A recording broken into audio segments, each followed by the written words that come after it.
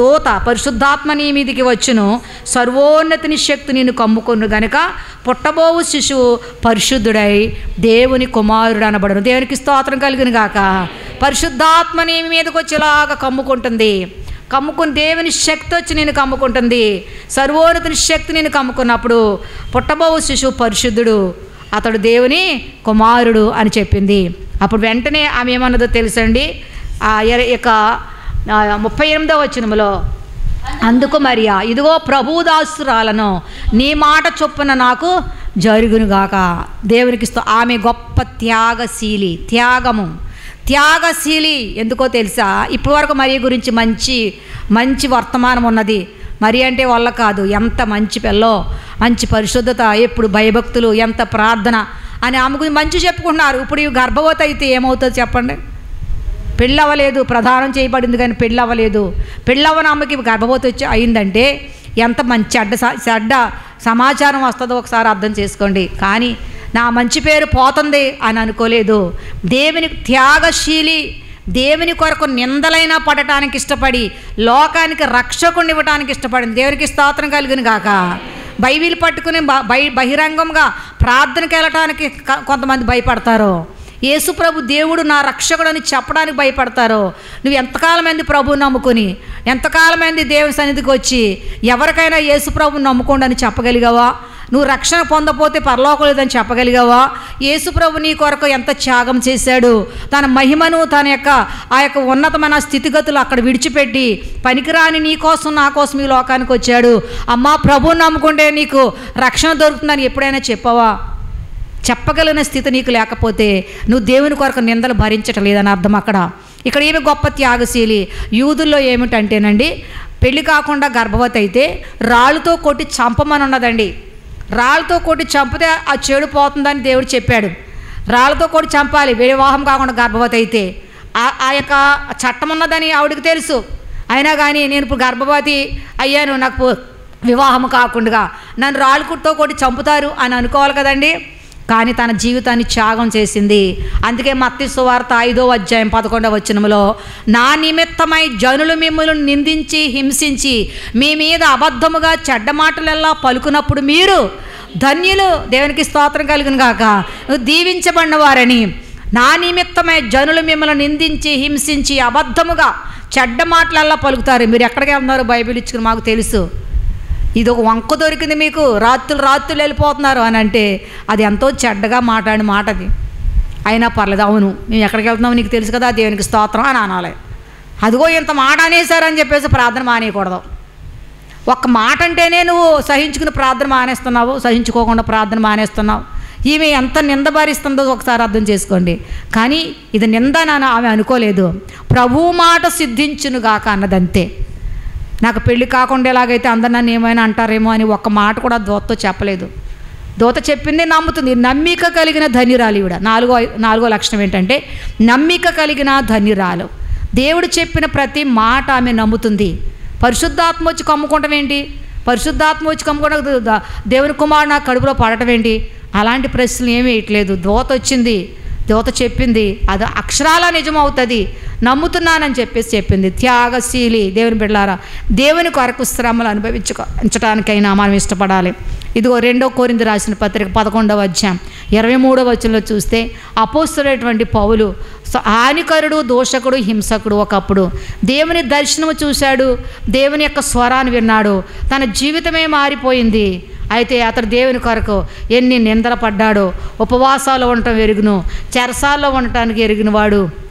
అంతేకాకుండా మరి దేవుని కొరకు దెబ్బలు కొట్టించుకున్నాడు శ్రమలు అనుభవించాడు మరి ఆకలి దప్పులు కలిగి ఉన్నాడు. ఇన్ని రీతిలో పదకొండు అధ్యాయం ఇరవై మూడో వచ్చిన రెండో కొరింది పత్రికలో. అపరిమితముగా దెబ్బలకు తిన్నాడు. యూదుల వల్ల ఐదు మార్లు ఒకటి తక్కువ నలభై దెబ్బలు తిన్నాడు. బెత్తాలతో కొట్టించుకున్నాడు. ఎందుకండి? సువార్త ప్రకటిస్తున్నాడు యేసుప్రభు రక్షకుడు అని చెప్తున్నాడు. అదండి. వాళ్ళు చేసిన తప్పు. ఏమి తప్పు చేయకుండా యేసుప్రభు రక్షకుడు అంటే ఆయన కొడుతున్నారు. ఆయన తిట్టారు. ప్రాణాపాయలు బెత్తాలతో కొట్టారు. రాళ్ళసా కొట్టబడ్డాడు. ఓడ పగిలి శ్రమపడ్డాడు. సముద్రంలో రాత్రింబగళ్ళు ఉండి కష్టపడ్డాడు. ప్రయాణాల్లో నదుల వల్ల ఆ ఆపదల్లోను దొంగల వల్ల ఆపదలోను అనేక రకాలుగా హింసలు అనుభవించాడు. ఎందుకో తెలుసా? నీతిగా జీవించి నీతిగా జీవించి పరిశుద్ధతగా జీవించి దేవుని దేవుని వాక్యాన్ని వదిలిపెట్టలేదు. సువార్తను ప్రకటించడం మానలేదు. ఒక చోట గెంటేస్తుంటే ఇంకో చోటకి వెళ్ళిపోయాడు. చెరసాల్లో వేస్తుంటే ఆ చెరసాల్లో పాటలు పాడేవాడు. చెరసాల నుంచి బయటకు వస్తే వేరే ఊరు వెళ్ళిపోయేవాడు. అసలు ఎక్కడ ఎక్కడికి వెళ్తే అక్కడ సంఘాలు కట్టి అక్కడ పెద్దలను ఏర్పాటు చేసి వారికి ఆ సంఘాలను అప్పగించి పెద్దలకు అప్పగించి అప్పుడు మందిరాలు పాస్టర్లు లేరండి. సంఘ పెద్దలను నియమించి వాళ్ళకి అధికారం ఇచ్చి ప్రార్థన చేసి మళ్ళీ ఇంకో చోటకి వెళ్ళిపోయేవాడు. అలాగే ఎన్నో శ్రమలు అనిపించాడు అలాగ దేవుని కొరకు శ్రమ పడేవారే దేవుడికి కావాలి. అలా శ్రమలు శ్రమలు అనుభవించేవారే దేవుడికి కావాలి. నిందలు పడి భరించి వాటిని సంతోషముగా స్వీకరించే వారి ద్వారానే యేసుప్రభు దేవుడు అని చెప్తే నమ్ముతారు. యేసుప్రభు దేవుడు అని చెప్తే ఏదో నోటితో చెప్పేయటమే కాదండి. శ్రమలలో ఉండి నేను ఎన్నో కష్టాలు అనుభవించాను. నా భర్త నన్ను ఎన్నో కొట్టాడు. అయినా నేను తట్టుకుని అలాగే ఏడుస్తూ ఉండేదాన్ని. అలాగే ఏడుస్తున్న సమయాల్లో మరి దేవుడు నన్ను ఎంతగానో ప్రేమించి నా భర్తను కూడా రక్షించాడు అని చెప్తే అది ఎంత గొప్ప సంతోషం అండి ఎంత గొప్ప సాక్ష్యము. మన మధ్యకు వస్తుంది దేవి. ఆ భర్త ప్రార్థనకు వచ్చేవాడు కదా ఆమె ప్రార్థనకి వెళ్ళిచ్చేవాడు కాదు. కానీ దేవుని వాక్యము విని టీవీలో వర్తమానం విని అక్కడి నుంచి అక్కడిక్కడికి వచ్చి మా ఈ సంఘంలో బాప్తిస్తం తీసుకుని భార్య భర్తలు ఇద్దరు వస్తున్నారు. అలాగా చాలామంది యేసుప్రభు గురించి శ్రమలు అనుభవిస్తున్నారు. కొంతమంది శ్రమలు పడటానికి ఇష్టపడలేదు. కొట్టట కొట్టు కొట్టించుకుంటానికి ఇష్టపడలేదు తిట్టించుకుంటానికి ఇష్టపడలేదు. కొట్టమని తిట్టమని కాదు కానీ ప్రభు ముందుగానే చెప్పాడు. ఈమె మరియా మరియలో ఉన్న సుగుణం ఏంటి? త్యాగం చేసింది జీవితాన్ని. నింద ఇప్పుడు ఒక ఇప్పుడు వచ్చిన నింద జీవితాంతం ఉంటుందా ఉండదా? ఉంటుంది. అయినప్పటికీ ఇది ఏ నింద వచ్చినా పర్లేదు నన్ను ఏం చేసినా పర్లేదు. యూదులు నన్ను రాళ్ళతో కొట్టరో. కొట్టినా నాకేం పర్లేదు. లోకానికి రక్షకుడు ఇవ్వటం కంటే ధన్యత నాకు మరొకటి లేదు. ఎందుకంటే నా గర్భాన్ని యేసు ప్రభు పుట్టడం అనేది అది నా నన్ను నాకు గొప్ప సంతోషకరమైనటువంటి స్థితిని ఆమె అంగీకరించింది. యేసు ప్రభును కలిగి జీవించడానికి ఇష్టపడింది. లోకానికి రక్షకుడు ఇవ్వటానికి ఇష్టపడింది. త్యాగం చేసింది.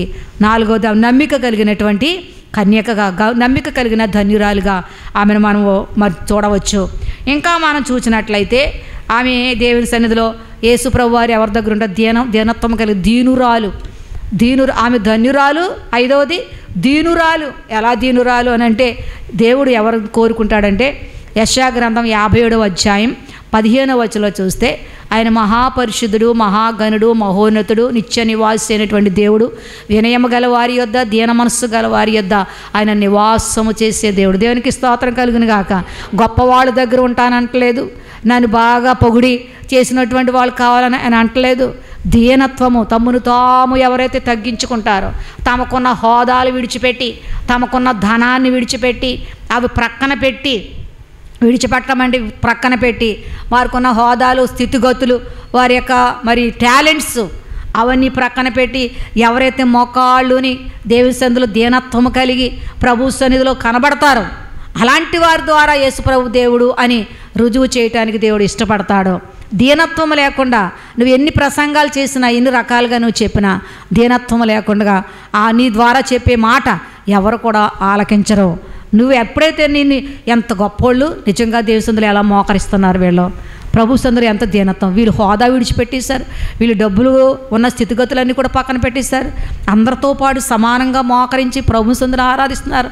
ఎంత దీనత్వం వీళ్ళకి అని ప్రజలు నిన్ను చూసి మహిమ దేవునికి మహిమ తెచ్చుకోవాలి. అది కొంచెం పెరిగేటప్పటికి ఓ నెత్తి మీదకి వెళ్ళిపోతాయి కళ్ళు కొంతమందికి. ఎంత గర్వమో. కొంచెం అంత డబ్బు కొంచెం అంత హోదా కొంచెమంది స్థితిగతులు పెరిగేటప్పటికి ప్రార్థన లేదు ఏమీ లేదు దేవుడు లేదు. ఏదో నామకహ. ఇలాంటి పరిస్థితులు మనకు ఉండకూడదండి. నేను దేవుడు హెచ్చించే కొలది ఎదిగే కొలది మనం ఎలా ఉండాలండి ఒదిగి జీవించాలి. తగ్గింపు జీవితం కావాలి. అలాంటి స్థితి ఎవరికండి? మరియకున్నది. దీనత్వము కలిగినటువంటి స్త్రీ మహోన్నతుడైనను మహోన్నతమైన స్థలంలో నివసించినను. ఆయన దీనులను లక్ష్య పెట్టే గొప్ప దేవుడు. వినయము గల వారి యొద్ద దీన మనస్సు గల వారి యొద్ద నివాసం చేసే దేవుడు. నాకు అంత ఉంది ఇంత ఉందని నువ్వు చెప్పుకుంటావే దానివల్ల నీకు వచ్చేటువంటి మేలేమీ లేదు. నీకు ఎంత ఉన్నదో అందరూ చూస్తున్నారు. కానీ నీలో ఉన్నది ఏంటి? యేసును కలిగిన జీవితం ఉండాలి. యేసును కలిగిన జీవితము ఈమెకున్నది. ప్రభు కోసం ఆమె జీవితాన్ని త్యాగము చేయడమే కాదు దీనురాలుగా దేవి సందులో ఆమె కనపరుచుకుంటూ ఉన్నది. కనుక ప్రభు సన్నిధిలో ఎవరో ఈ దీనుడు మొరపెట్టగా యహోవా ఆల కీర్తన ముప్పై నాలుగు కీర్తన ఆరు వచ్చిన ఉన్నది. ఈ దీనుడు మొరపెట్టగా యహోవా ఆలకించాను. అతని శ్రమలన్నిటిలో నుంచి ఆయన వారిని తప్పించాను అని ఉన్నది. కనుక దీనురాలుగా ఉన్న వారికి దేవుడు ప్రార్థన ఆలకిస్తాడు. దీనత్వం కలిగి ఉండాలి. మనకి స్థితిగతులన్నీ కూడా ప్రక్కన పెట్టి ప్రభు మీద ఆనుకునేటువంటి స్థితి మనకు కలిగి ఉండాలి. అలాంటి స్థితి ఉన్నవారు ప్ర వాక్యం ప్రకటిస్తే అప్పుడు యేసు ప్రభు దేవుడు రక్షకుడు అని వాళ్ళు అంగీకరిస్తారు. ఏ, ఒక కలెక్టర్ ఉన్నాడు అనుకోండి సపోజ్. ఒక కలెక్టర్ గారు ఉద్యోగం చేసుకుంటూ ఆఫీస్ నుంచి వచ్చేసిన తర్వాత ఇంకా ఆయన వాక్యం తీసుకుని సువార్త ప్రకటించేవారండి. మీటింగుల దగ్గరికి వచ్చి మీటింగులు జరుపుతూ ఉండేవారు. ఆయన గురించి అందరూ చెప్పుకునేవారు ఎంత మంచి హోదా. అలాంటి హోదా కలిగిన ఆయన ప్రభును ప్రకటిస్తూ ఎంతో దీనుడు ఎందరికీ మేలు చేస్తున్నాడు కలెక్టర్ గారు. ఈ మేలు చేస్తున్నటువంటి ఈయన నిజముగా దేవుని బిడ్డ అని ప్రతి వాళ్ళు చెప్పుకునేవారండి. అది ప్రవర్తనలో దీనత్వం కనిపించాలి. అలాంటి వాళ్ళు ప్రకటిస్తే అనేక మంది మారుతారు. అది యేసుప్రభు దేవుడని అంగీకరిస్తారు. యేసుప్రభు రక్షకుడని అంగీకరిస్తారు. నీ పాపాలను తీసివేయటానికి వచ్చిన యేసయ్య నీలో తగ్గింపు లేకుండా నువ్వు ఎలాగా రక్షకుడు అని నువ్వు ప్రకటించగలవో. కనుక ఆ దీనత్వం అని దేవుడు కోరుకున్నాడు అలాంటి గుణం ఎవరికి ఉందండి మరి కొంది. ఇప్పుడు ఆవిడలో ఉన్న సుగుణాలు చెప్పండి. ఒకటేంటి? ఆమె గొప్ప ప్రార్థనాపరురాలు. రెండవది ఆమె విధేయురాలు. మూడవది ఆమె నమ్మిక కలిగినటువంటి క- దీనురాలు. అంతే నాలుగవది త్యాగశీలి ఐదవది దీనురాలు. ఆరోది మనం చూసినట్లయితే లే దీంట్లోనే లోకాసు వార్త రెండవ అధ్యాయము యాభై రెండవ వచ్చిన ఒకసారి చూద్దాం. యాభై రెండవ వచ్చును యాభై ఎనిమిది చూద్దాం యాభై నుంచి. ఆయనకు భయపడు వారి మీద ఆయన కనికరము తరతరములకు ఉండును. ఆయన తన బాహుతో పరాక్రమము చూపెను. వారి హృదయము ఆలోచన విషయమే గర్విష్ఠులను చెదరగొట్టెను. సింహాసముల నుండి బలవంతులను పడద్రోసి దీనులను ఎక్కించెను. దేవునికి స్తోత్రం కలుగు ఇవన్నీ ఎవరు చెప్తున్నారండి? మరియే చెప్తుంది అంటే ఈమె లేఖనముల యందు ప్రవీణురాలు. దేవునికి స్తోత్రం కలిగిన గాక. ఆమె లేఖనముల యందు ప్రవీణురాలు. ఇవి ఎక్కడి నుంచి చెప్తుందంటే అబ్రహాము దగ్గర నుంచి చెప్పుకొస్తుందండి. అబ్రహాముకు ఆయనకు భయపడు వారి మీద దేవునికి భయపడేవాడు ఎవరండి? అబ్రహాము. నీ కుమారుని బలిమ్మని అడిగితే ఆయన ఏం చేస్తాడండి? లేకలేక ఇచ్చావు గర్భం ఉడిగిపోయి ఇచ్చావు ఇప్పుడు మళ్ళీ పిల్లని బలిమ్మంటున్నావు అదేంటి ప్రభు అని అన్నాడా? చెప్పటమే తడవు. వెంటనే పిల్లోడిని తీసుకుని కట్టెలు తీసుకుని పనివారం తీసుకుని వెళ్ళిపోతున్నాడు. ఎక్కడ ఎక్కడ ఇవ్వమన్నాడో అక్కడికి ఆ స్థలానికి వెళ్ళిపోతున్నాడు బలి ఇవ్వటానికి పిల్లోని బలి ఇవ్వటానికి అంటే ఎవరికి భయపడుతున్నాడో తెలుసా? దేవునికి భయపడుతున్నాడు. ఈ విషయం ఎవరు చెప్తున్నారండి? మరీ చెప్తుంది ఆయనకు భయపడు వారి మీద ఆయన కనికరములు తరతరములకు ఉండును. ఇప్పుడు అబ్రహాం తరతరములకు ఆశీర్వాద కారకుడు ఎందుకో తెలుసా? దేవునికి భయపడ్డాడు. కొడుకుని చంపాలి కొడుకు బలిమ్మన్నాడు ఇచ్చేటివే. ఇచ్చేస్తే మరి ఇంకో కొడుకుని ఇస్తాడు. గర్భం ఉడిగిపోయింది పిల్ల పుట్టే వయసు పోయింది. అయినా ఇంకా ఇస్తాడు ఇది ఇచ్చేస్తే నన్ను అన్ని నమ్మకం కలిగి ఉండి ఉండొచ్చు అందుకని దేవునికి భయపడు. ఇందువలన నీకు ఒక్కగానొక్క కుమారుణ్ణి నాకు బలి ఇవ్వటానికి వెనుక తీయలేదు గనుక నీవు ది ఇందు నిమిత్తమే నీవు నాకు భయపడు వాడవాడని నాకు తెలియచున్నదని ఈ యొక్క ఆది కాండంలో దేవుని వాక్యం మనకు తెలియజేస్తూ ఉన్నది. దేవునికి భయపడేవాడని దేవుడు అతనికి సాక్ష్యం ఇచ్చాడు. ఈ విషయం ఎవరు చెప్తున్నారంటే ఈ యొక్క దాసురాలనేటువంటి మరియా చెప్తా ఉన్నది. అంటే లేఖనాలలో ప్రవీణురాలు. అబ్రహాము గురించి అడిగితే కొంతమంది అబ్రహాం ఎవరు? ఇసాక్ ఎవరో యాకోబ్ ఎవరో దావీద్ ఎవరో అని అడుగుతున్నారు. ఎంత ఎంత వెనకబడి ఉన్నారో ఒకసారి అర్థం చేసుకోండి. కానీ ఈమె అలాంటిది కాదండి. ఖాళీ ఉంటే నువ్వు ఏం చేస్తున్నావు? ఆ ఇంటికి ఈ ఇంటికి వెళ్ళటం కాదు. ఏం చేస్తున్నావు? తీ బైబిల్. బైబిల్ తీసి ఇష్టం ఉన్నాడు చదవకో. ఆది కాండ నుంచి రోజుకు ఒక అధ్యాయం చదువు. సంవత్సరానికి సంవత్సరానికి బైబిల్ పూర్తి చేయవలసిన అవసరం లేదు. సంవత్సరం సంవత్సరం బైబిల్ పూర్తి చేసేయాలని దడ దడ దడ దడ దడ రోజుకు ఐదు అధ్యాయాలు పది అధ్యాయాలు చదవకో. అందులో నీకు అసలు ఏదో అసలు అర్థమవుతుంది. నీ ఖాళీ ఉంటే మొదటి అధ్యాయం పదిసార్లు చదువు. పది పది పది రకాలైనటువంటి రీతిలో దేవుడు నీతో మాట్లాడతాడు. వాక్యాన్ని చదివే విధానమే తెలుసుకోవాలండి. ఈ మరియ లేఖనముల యందు ప్రవీణురాలు. ఆవిడ వాక్యం బాగా చదువుతుందని మనకు అర్థమవుతుంది ఇక్కడ. ఆవిడ చెప్తుంది ఆవిడే లేఖన ప్రవీణురాలు? ఆయన ఎందు భయభక్తుల వారికి ఆయన కనికరములు తరతరములకు ఉండును అని చెప్తా ఉన్నది. ఇంకా మనం చూసినట్లయితే సింహాసనముల నుండి బలవంతులను పడద్రోసి దీనులను ఎక్కించాను. ఎవరిని ఎక్కించాడండి? ఆ యొక్క దావీదిని ఎక్కించాడు. రెండో యోసేపును కూడా సింహాసనం ఎక్కించాడు. దావీదిని ఎక్కించాడు. బలవంతులను పడద్రోసి సౌలు ఇస్రాయేల్కు మొట్టమొదటి రాజ్యం. అల్పుడైనటువంటి సౌలుని దేవుడు ఇస్రాయేల్కి రాజుగా ఉండటానికి దేవుడు ఇష్టపడ్డాడు. రాజుగా ఉంచవలసినటువంటి ఆ యొక్క సింహ సౌలు దేవుని మాటకి ఏమాత్రం కూడా అతను లోబడలేదు. ఆ యొక్క అమోరీలు చంపేయమంటే వాళ్ళని ఉంచి అక్కడ ఆ యొక్క కొన్ని పశువులు నాటిని ఉంచాడు. మనకు చాలామందికి తెలుసు. దేవునికి అవిధేయుడందు చేత అతనిని పడద్రోసి బలవంతుడైనటువంటి సౌలును పడద్రోసి దీనుడైనటువంటి ఆ దావీదిని ఏమి చేశాడండి? సింహాసనము ఎక్కించాడు.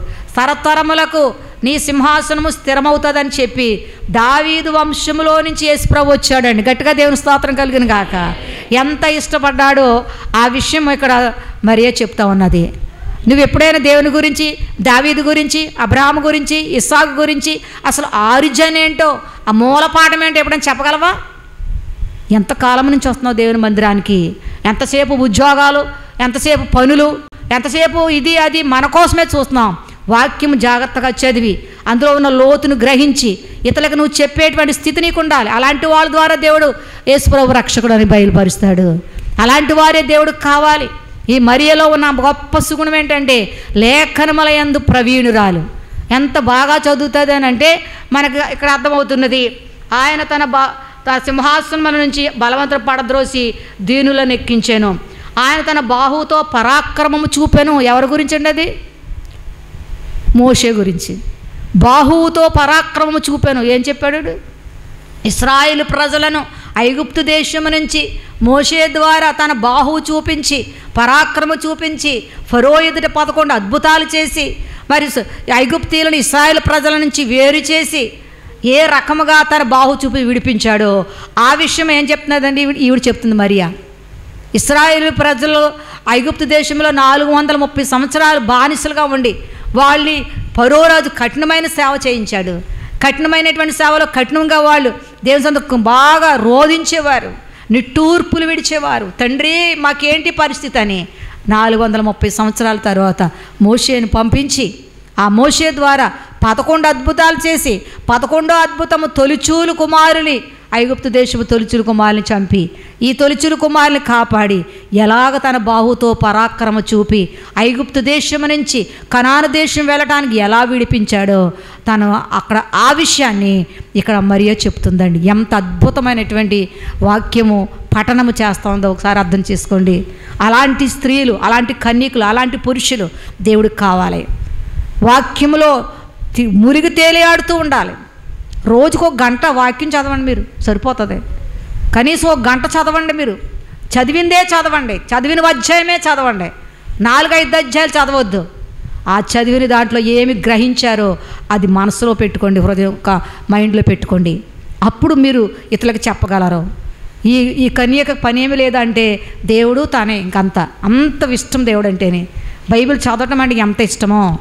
ఆ రీతిగా చదివి ఆ రీతిగా ఈ యొక్క లేఖనాల గురించి చెప్తా ఉంది. లేఖనమేంద్ర ప్రవీణరాలు. దేని గురించి మనకు తెలుస్తున్నదంటే ఆయన ఆయన తన బాహువుతో తన పరాక్రమము చూపెను అని దాని గురించి.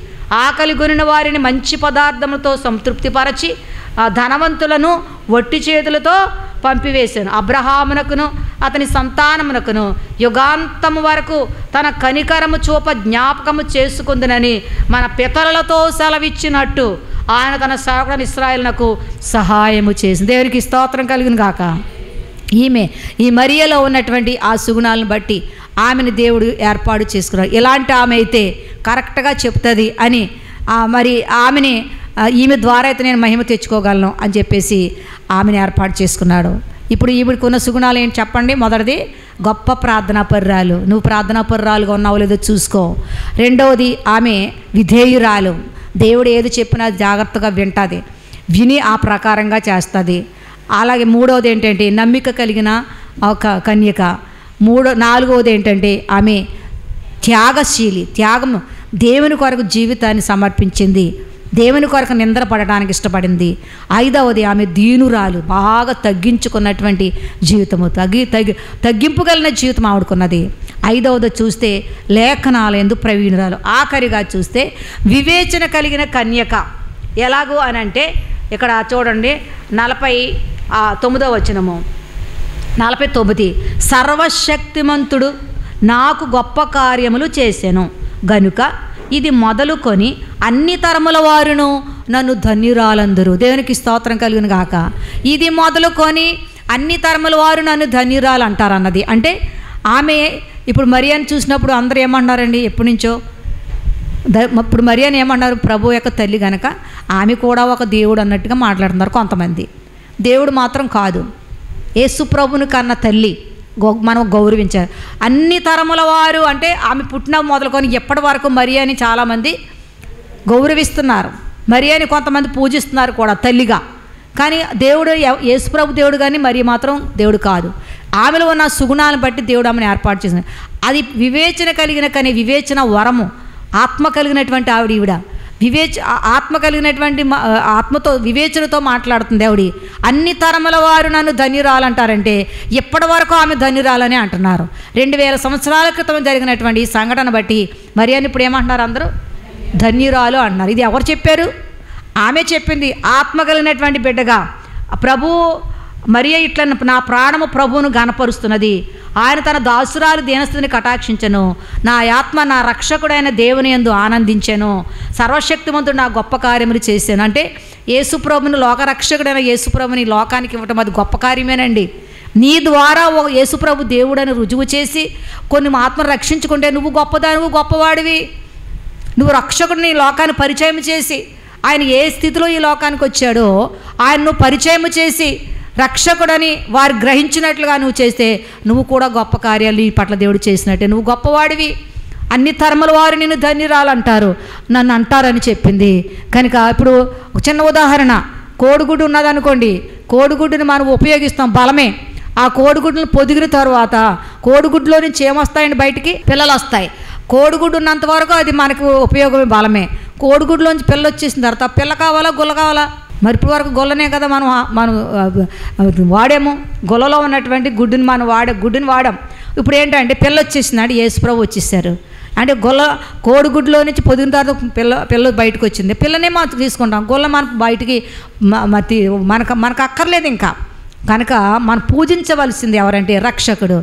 నీ కోసం నా కోసం ఆయన ఈ లోకానికి ఆ యొక్క మహిమగల ఆ యొక్క స్థలాన్ని విడిచి వచ్చి ఆయన ఏం చేశాడో? ముప్పై మూడున్నర సంవత్సరాలు ఈ లోకంలో ఉన్నాడు. మూడున్నర సంవత్సరాలు విరామం లేకుండా ఆయన అన్ని ప్రాంతాలకి తిరిగి ఆయన మంచి పనులు చేశాడు. ఆయన నేను నేను ఇక్కడ ఉండేవాడిని కాదు పైనుంచి వచ్చాను. మళ్ళా నేను తిరిగి వెళ్ళిపోతాను.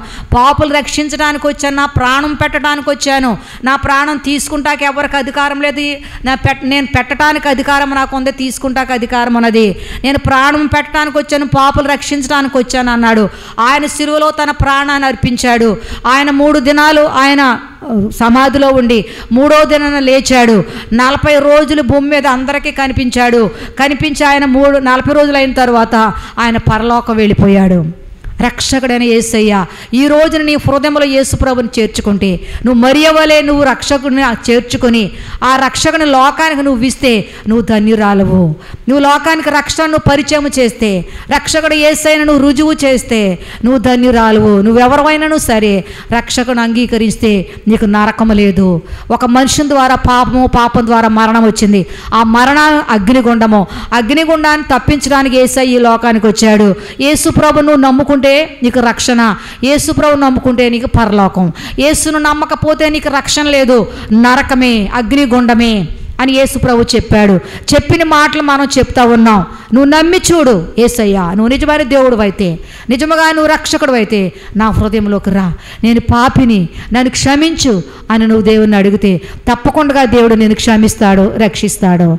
అలాగే దేవుడు నేను వాడుకుంటాడు మరియవలే వాడుకుంటాడు. మనం అందరము మరియవలే యేసుప్రభుని లోకానికి రక్షకుడిగా ఇవ్వటానికి ఆయన పరిచయము చేయటానికి లోక రక్షకుడు రుజువు చేయటానికి నీలో కూడా ఎన్ని సుగుణాలు ఉండాలి? ఒకటి ప్రార్థనా పరురాలుగా ఉండాలి. మన విధేయత కలిగి చూపించాలి. వాక్యాన్ని మనం నమ్మాలి. మనలో దీనత్వం ఉండాలి. ఏమాత్రం హెచ్చు అనేది ఉండకూడదు.